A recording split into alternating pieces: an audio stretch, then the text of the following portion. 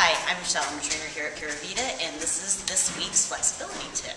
Actually, it's a stretching tip. So, if your calves are really tight um, from either running or doing a lot of stairs or step ups or whatever, so the easy stretch is to stand against the wall, take your foot back and put your heel down, bend the knee that's closest and bend in and hold on to it and hold that for 20 seconds, then release heel out to the side and then bend in again and that will get the interior part of your calf. Oh. So you're getting both parts of the calf.